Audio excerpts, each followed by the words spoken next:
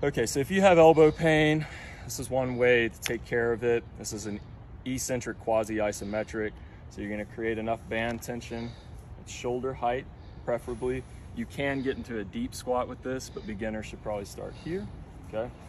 So you're gonna be here, pulling pronation to supination. You go about 10 reps each, go until fatigue.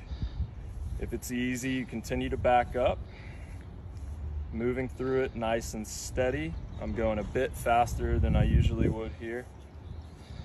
All right, and continue to work out from there, trying to, again, pull that elbow in as long as you can, moving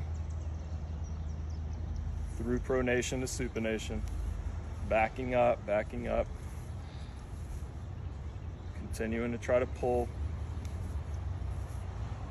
So eventually you'll get to a place where it's straight, and that's a really good position to be in as well. Straight arm strength is drastically undervalued.